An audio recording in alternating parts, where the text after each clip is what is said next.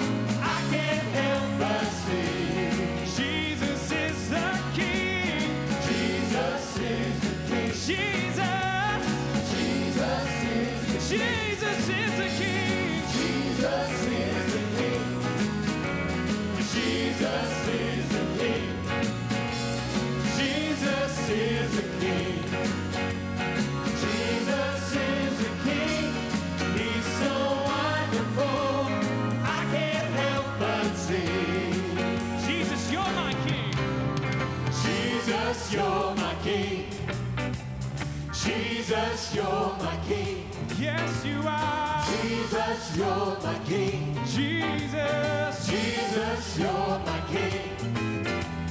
Jesus, you're my King. Jesus, you're my King. You're so wonderful.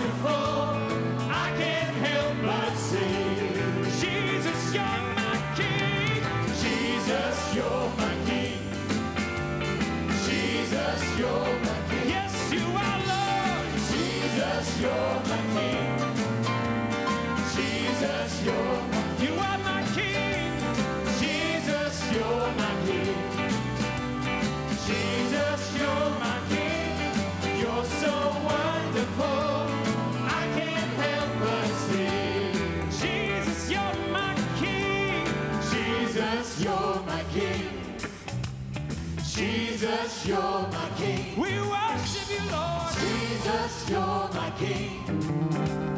Jesus, you're my King. Give you all the glory.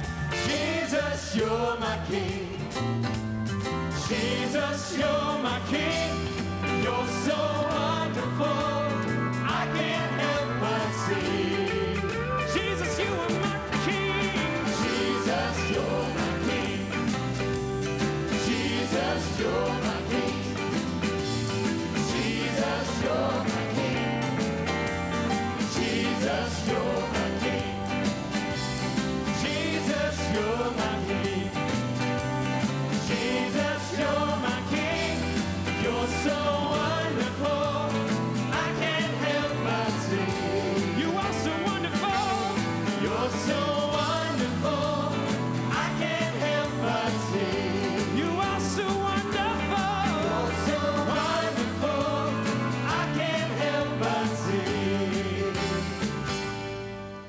1 Samuel 2 and 30. Wherefore the Lord God of Israel said, I said indeed that your house and the house of your father should walk before me forever. But now the Lord says, Be it far from me, for them that honor me I will honor, and they that despise me shall be lightly esteemed. Now, God doesn't change. He is the Lord God. He changes not. And He's not the Son of Man that He should repent. But He will change what He does on some things depending on what people do or don't do. Well, in that case, who changed? It wasn't Him that changed. His will's the same, His plan's the same, His ways are the same. But uh, it, we went into some detail on this uh, a number of months ago, talking about uh, You Choose, is the title of a series that we were into for a while. Um, how that God is not controlling everybody and everything. This, this idea that God is in control. And by that I mean everything that happens is somehow under and by the control of God is simply not true. I said it is not true. The truth is there are all kind of things happening in this planet that have nothing to do with God, that are not His will, that don't please Him, they're not His plan, they're actually contrary to Him, His will and His plan. And the truth is, unless you ask Him, unless somebody asks Him to get involved and believes Him to get involved in so many things, He's simply not in it.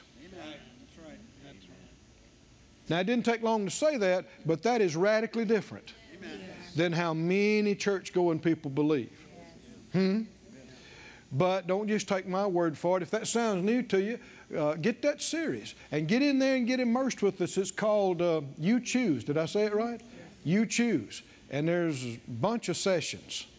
And go through the scriptures with us and, and see it. Let the Word talk to you and minister to you. There's a lot of tradition of men that we need to get free from. A lot of stuff that people have heard in church that just ain't so. Hmm? So uh, the Lord says here, you can see, He said this was going to be this way, but now it's going to be this way. Well, He didn't change His mind. God didn't change. He said, I'm going to honor the ones that honor me. Well, whose choice was it whether they honored him or not? Hmm? I, I had some people, heard some people railing about some things. They said, well, if God really exists and He really is love, how's a, a God who is love going to send human beings to a place of eternal hell and torment? What kind of God would do that?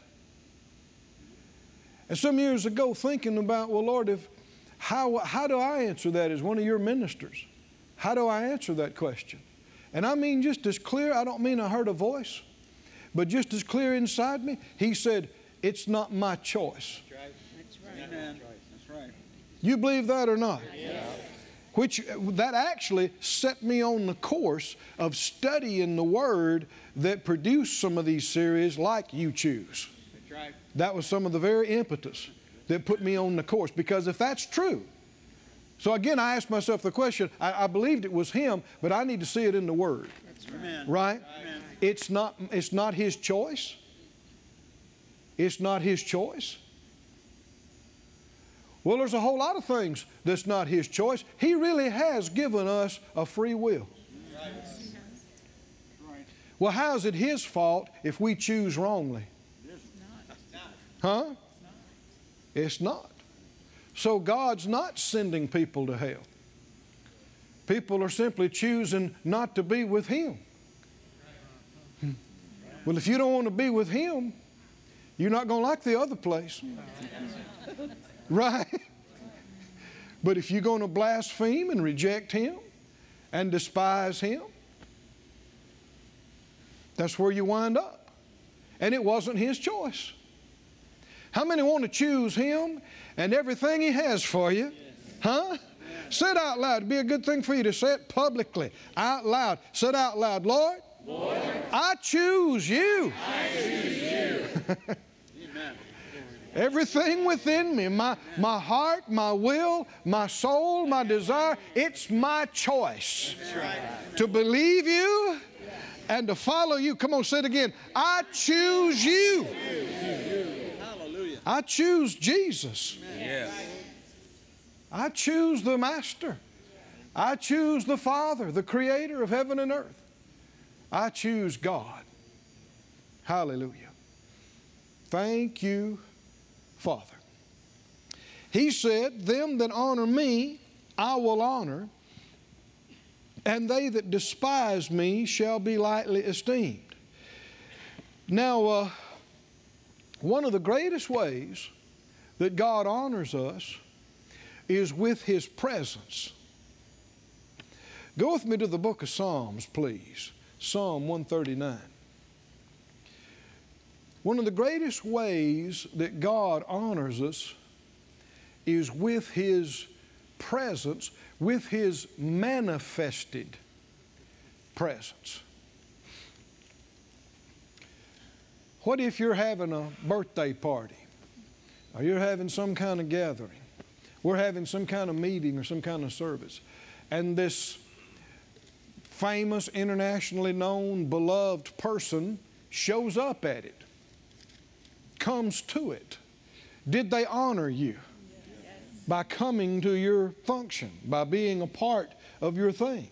Yes, they have honored you greatly. They didn't have to show up there, right? By them showing up there and being there, they've honored you. Well, there's none greater than the Lord our God. And for Him to show up at a thing, and by that I mean to manifest His presence there, is of the greatest honor that can be bestowed. Who's He going to honor like that? From our text. Who's He going to honor like that? It's not indiscriminate. It's not random. There's a connection. Hmm?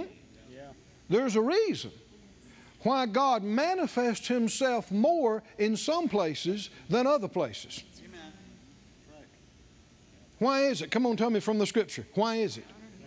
Because some people honor Him more than others. Right? Who's He going to honor?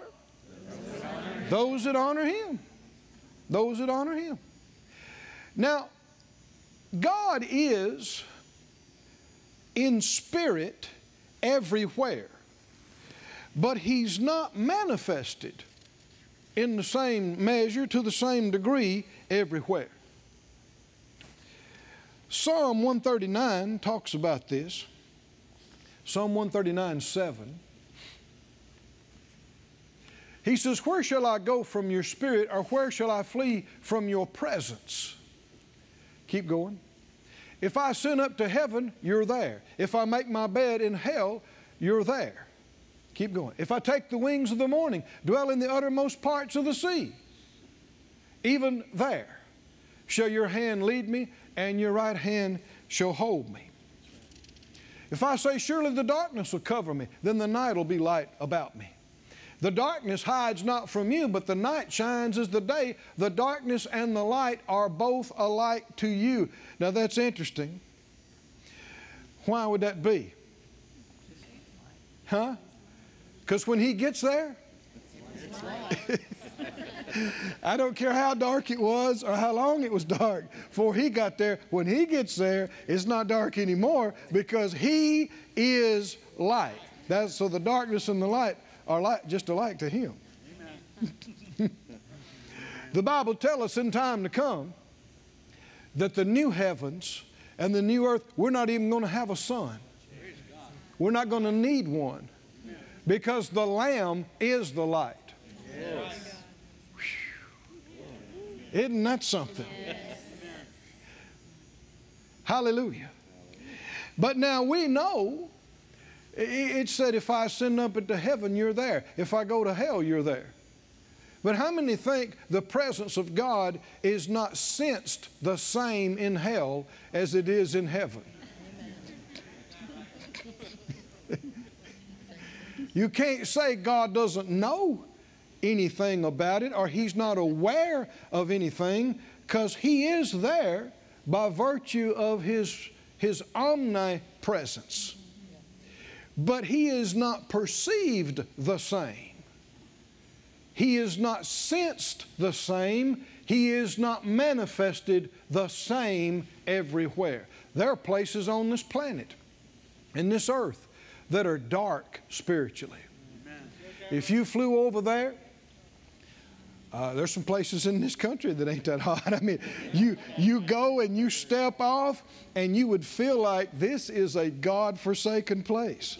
You would think, man, God ain't here, and yet He is. You can't say He's not there in the sense that eh, He doesn't exist there. His Spirit is there, simply not manifested, Amen. That's right. That's right. not made known, not revealed. Anybody with me? He is everywhere around us. And in Romans, put this up on the screen for us Romans 1 and 19, he said, That which may be known of God is manifested in them or to them, for God has showed it to them. Now, this is talking about unbelieving people. Verse 20, For the invisible things of God from the creation of the world are what? Clearly seen, being understood by the things that are made even his eternal power and Godhead, so that they are without excuse. When people say there is no evidence of God, there is no proof of God, that is a big fat lie. Amen. That's right. Everything you see Amen. Is evidence of God. Right. I'm talking about creation, Amen.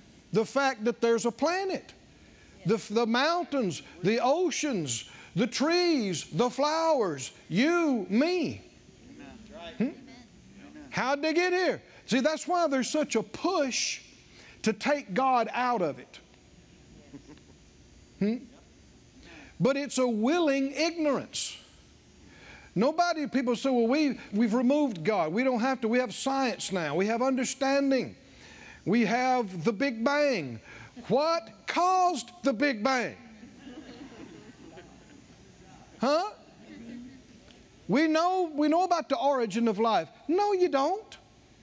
You can follow conception, you can follow how the babe develops in the womb, but what makes the baby go from stage one to stage two? Hmm? You can't see the origin of life under a microscope. We can see that, sure, the, the, we've learned a few little things, not much compared to what there is to know. But you can find, yeah, this nerve impulse comes from this region of the brain, makes the heart pump, you know, and, and this causes, yeah, but what is fueling it from the inside? What, what's in it? You, and if you understand the word, you know that the brain is not the mind. It's just a physical organ. When people say, Isn't it amazing? All of these creations, all of the art and music and engineering and everything has come out of these couple of pounds of gray tissue matter. no, it didn't. No, it didn't. No, it didn't. Amen. The, the brain is a physical organ.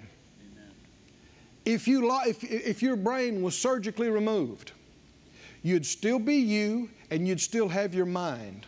Right. You just couldn't express yourself. Exactly, man. Well, the Father of spirits has created spirit beings. Thank you, Lord. And you are not, and I are not just created beings, angels, but we are also born of Him. We are His own sons and daughters in His family. Being actually Earth is prep school. It is. He's prepping us for what comes next. We're being uh, groomed to be kings and priests and to rule and reign with Him in the ages to come. What an honor. Somebody say, What an honor. What an honor. But here and now, in this world full of darkness, we, we saw last time God does hide Himself. Isaiah talks about that. But also, He is a God who reveals Himself. It's just He doesn't reveal Himself to everybody. Hmm? And He doesn't reveal Himself to everyone to the same degree. Is it an honor for God to manifest Himself to you and to your family, in our, in our church, in our services, in our houses, right? Is it an honor? Who's He going to do that for, and who's He going to do that more for? Those who honor Him and those who honor Him more. Do you have a desire? to honor Him more than you ever have, so that He has access to you, right? And is able to reveal Himself and manifest Himself more to you than He ever has before. In John, John 14 and 20, Jesus said, At that day you shall know that I'm in the Father, and you in me, and I in you. He's talking about the day you and I live in right now. Is He in us? Yes. Are we in Him? Yes. Keep going.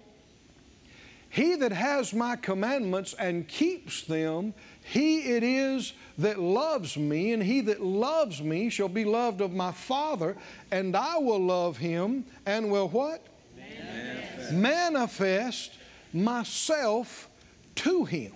Amen. Reckon you could count on what the Lord said.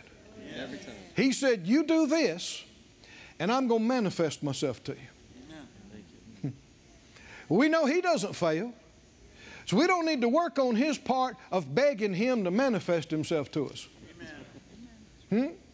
We need to work on our part, which is doing what He told us to do. Now, when He says, Keep my commandments, don't immediately let your mind go to the uh, Ten Commandments. But also, in, in- remember what he said in 1 John. In fact, just, just turn there. Go to 1 John. Third chapter, verse 21. 321. He said, Beloved, if our heart condemn us not, then have we confidence toward God. And whatever we ask, we receive of Him. Why? Why? Because we keep His commandments and we do those things that are pleasing in His sight. Now let's just stop right here. Can you think of anything that pleases God? One thing jumps to mind, right? Faith. Without faith, it's impossible to please Him. And you actually see that in the very next verse here, right here. This is His commandment. Here is the New Testament summary of keeping God's commandments. This is His commandment. What? Number one, that you do what? That you believe. There's faith in it. That you believe on the name of His Son Jesus Christ. And number two, do what? Love one another as He gave us commandment. Now, if we'll do these, verse, verse 24, and he that keeps his commandments dwells in him, and he in him, and hereby we know that he abides in us by the Spirit which he has given us. Somebody say, You mean we don't have to keep the Ten Commandments anymore? You do this, and you will keep them. Hmm? If I love you, I'm not going to steal from you. Right? I'm not going to lie to you or own you. Huh? I'm not going to covet what you have and try to take it away from you. Or uh, the Bible said in Romans, it says that uh, uh, love is the fulfilling of the command. And you, he that walks in love, you, you'll do your neighbor no harm. Amen. Right? Amen. So if I love the Lord God with all my heart and all my mind, soul, and strength, if I believe in the one He sent, Jesus, and, and I love you with the love He's put in me, I am, in doing that, going to keep the commands of, of God. Amen. And, and when I do that, what's, he, what's Jesus going to do? If I keep His commands by doing that, what's He, what's he going to do? He is going to manifest Himself to me. Would I know it if God manifested Himself to me? Now, if we read the rest of that passage, uh, one of the disciples spoke up and said, Now, Lord, how are you going to manifest yourself to us and not to the world? And he repeated, If you love me, you'll do what I tell you to do. And the Father will come, we'll make our abode with you, and going back to the previous verse, I'll manifest myself to him. I'll make myself real and clear to him. Now, we're given an example uh, uh, quoted in the New Testament, referring back to the Old Testament of God's manifested presence. We need to go back. Did you know uh, you, you make a mistake if you neglect the Old Testament? Amen. The writers of the New Testament assume you know the Old Testament. Amen. They're continually referring to it. Go to Exodus, please. Moses had run away from Egypt because of things that had happened there. He thought his brethren would understand that God was calling him to be a deliverer, but they didn't. you know, God doesn't tell everybody else what He called you to do.